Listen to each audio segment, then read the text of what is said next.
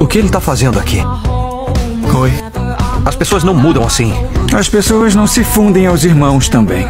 Ah, só pra constar, eu não tenho nada contra nenhuma das outras qualidades do Luke. O cabelo, o lance de ser gay. Talvez só a altura, na verdade.